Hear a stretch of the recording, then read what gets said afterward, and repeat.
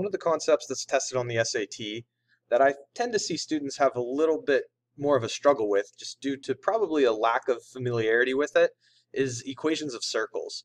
So we've got a little discussion that we'll have, and then we'll do a bunch of practice SAT problems within this video.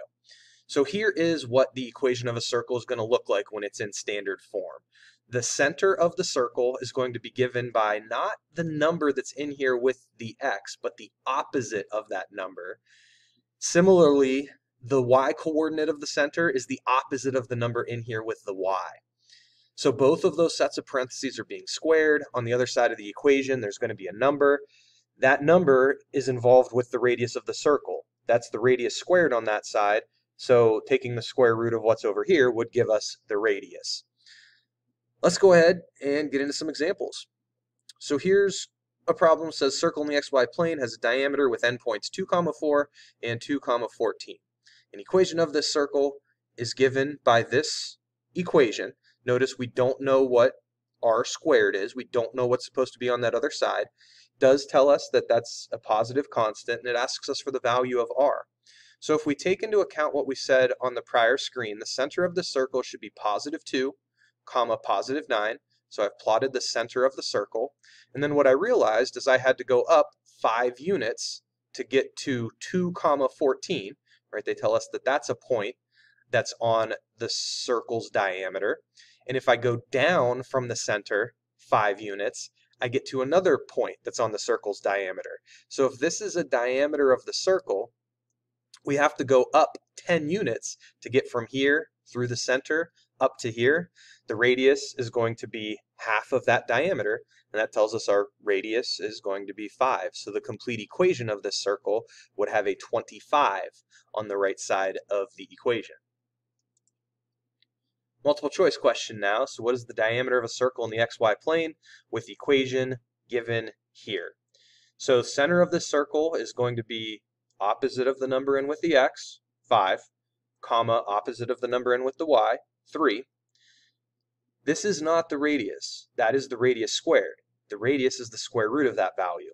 So if I think about graphing this circle centered at 5 comma 3, I'm going over 4 units both directions, so 4 to the right, 4 to the left, up 4, down 4. I can graph it. I don't necessarily need to graph it. It's just asking me for the diameter. Obviously, be cautious. It's not going to be uh, 4. That's the radius. The diameter is going to be double that. Right, I, to get from here clear across through the center to the other side of the circle, I have to move by 8 units. Another multiple choice question. Which of the following equations represents a circle in the xy plane that intersects the y-axis at exactly one point? Okay. So the first thing that catches my eye about all of the answer options is that we have a 16 on the right side of each of them. If I know my circle, the equation of it is going to have a 16 on the right hand side, I know the radius of the circle has to be 4. So I'm looking at these options trying to figure out which of them is going to give me a graph that's only going to hit the y-axis at exactly one point. So what that would mean, if, if the center of, if, if the coordinates of the center are given by the opposites of the values in each of these sets of parentheses, I'm looking down through and, and realizing, hey, I'm going to have to be four units away from the, the y-axis, either over here to the right of the y-axis, or I could potentially be four units to the left. And as long as my circle with a radius of four is starting with its center four units to the right of the y-axis or four units to the left, I know I'm going to hit the y-axis in exactly one spot. And if you look at option C, option C is specifying that the x-coordinate of the center is positive 4. So if I were to graph option C, I would hit the y-axis at exactly one point because my center is four units to the right of the y-axis with a radius of four. I'm going to hit the y-axis in exactly one point. You might remember the terminology, the y-axis is tangent to the circle, meaning it's hitting it in exactly one location.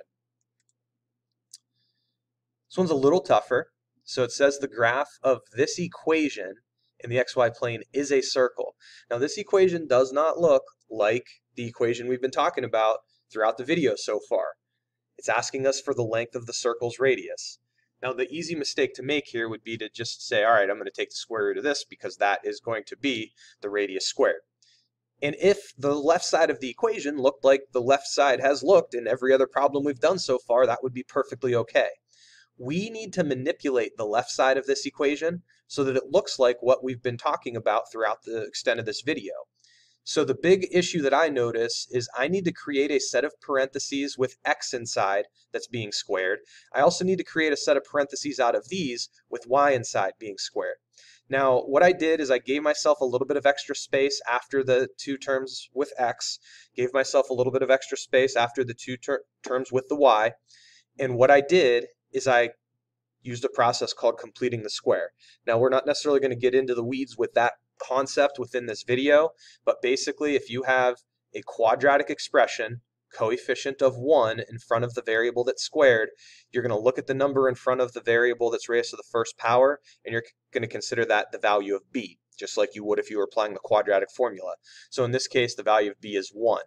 What you're going to do in order to create a perfect square trinomial, or in order to complete the square, is you're going to insert b over 2 squared in this spot and in this spot. It's the same value, didn't necessarily have to be the same, but the, the coefficient of this x is 1, the coefficient of this y is also 1. So in this case, it did end up being the same value that I inserted in both spots. Now here's the thing, if I add a 1 fourth here, and I add a 1 fourth here, this is an equation. I've got to keep it balanced. I've got to add 1 fourth two times on the right side as well. Now, this is really 1 half, so if I'm at 199 halves and I add one more half to it, that takes me to 200 over 2 or 100. Now, you don't necessarily need to worry about the left-hand side, but for those of you familiar with the completing the square process, you are then able to factor both of these as a, a perfect square. Uh, and the left side looks like how we've been discussing it needs to look for the standard form for the equation of a circle throughout the video. But the important thing to recognize is that we get 200 over 2 which reduces to 100 on the right side. What is the circle's radius? It's the square root of 100, which ends up being 10. Another multiple choice question here. So give us the equation of a circle, says that that represents circle A. Circle B is going to be obtained by shifting circle A two units down in the xy plane. Which of the following equations represents circle B? So here's what I know about circle A. The x-coordinate of the center is 0. The y-coordinate of the center is positive 1. Circle B, I know is going to have to have the center move down 2 units. So if I'm moving my y-coordinate down 2 units from 1, I'm going to end up with a new y-coordinate for the center of negative 1. Right? 1 minus 2 down 2 gives me a center of negative 1. Now, what's the equation of that circle going to be? Well, if my x-coordinate for the center does not change, it doesn't talk about moving the circle left or right at all, so I'm going to have the same x component as I started with in the original equation for circle A, but I need a new y component for the center. So I'm going to have to change that minus 1 to a plus 1 in order to generate a circle's equation that has a center at 0 comma negative 1. So if you look down through your answer options, should be pretty obvious. Option D is the one that we're after. Graph of this equation is a circle in the xy plane. The point A comma B lies on the circle. Which of the following is a possible value for A? All right, so the coordinates of the center of the circle would be negative 4 for x, positive 19 for y. So here's my center. I see that my radius squared is 121. So my radius is the square root of 121, which gives me 11. So what I did is I thought about going 11 units to the right, thought about going 11 units to the left, and then I have a not perfect diagram of this circle, but a usable one. And I think we should be able to use this to reason out what our answer needs to be. The point AB lies on the circle, which is a possible value for A. Notice A is the x-coordinate of a point that's on the circle. Should be pretty obvious that the smallest x-coordinate we're ever going to have for this circle is going to be negative 15, and the biggest x-coordinate is going to be plus 7. Right, I get that by starting at negative 4, going up 11, and going down 11. From negative 4. I am not going to have an x-coordinate of negative 16, right? That would be a little bit to the left of the circle. I am not going to have an x-coordinate of 11 or 19.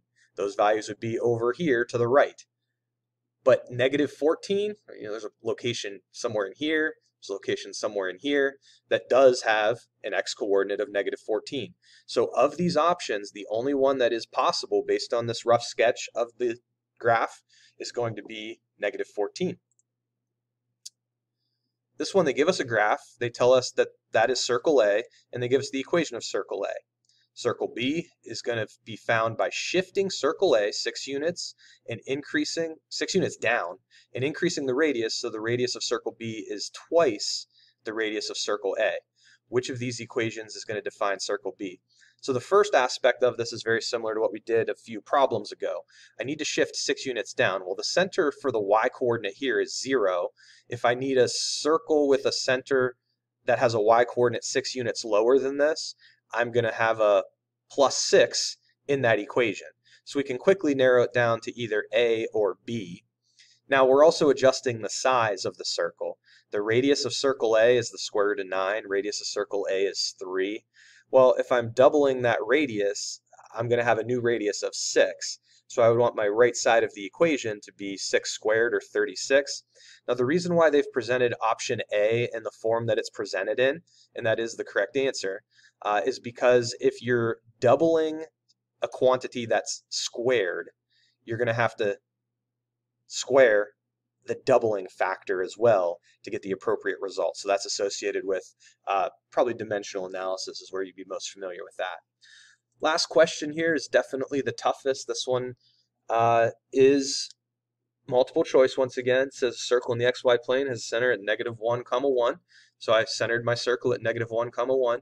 Line T is tangent to the circle at the point 5 comma negative 4. So over 5, down 4. Here's my point 5 comma negative 4.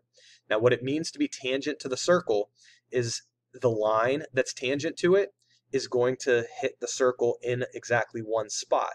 So this red line that you see I've sketched here is the tangent line to the circle. Now there's a little bit of geometry that you have to be able to work through and then it's going to ultimately kind of come down to some algebra after that geometry reasoning is used. This line segment that connects the center to this circle's edge, so this line segment is really a, a radius of the circle, it is going to have to be perpendicular to the line that's tangent to the circle. I can figure out what the slope of that purple line is, the radius of the circle. I'm going from this point down five units, and then I'm going to the right positive six units. So the slope of this purple line is negative five sixths. If the red line has to be tangent to the circle and therefore perpendicular to that radius, I'm going to make the slope of the red line opposite and the reciprocal of the slope of the purple line. So what's the equation of that red line? I know the red line goes through the point 5 comma negative 4, so I have the point slope version for the equation of that tangent line written here. Uh, and then what I did is I just kind of manipulated it to get it into slope intercept form. So I distributed my slope in, and then I subtracted 4, which gave me 6 fifths x minus 10. So which of these ordered pairs is on the red line? So it, at this point, it's kind of guess and check. What I noticed here is I noticed, well, because my slope has a denominator of 5, I would hope that answer is going to be the answer is going to be C because I'm going to have a nice result when I multiply 10 by 6 fifths. 10 times 6 fifths is 12. 12 minus 10 is 2. 10 comma 2 is on the red line.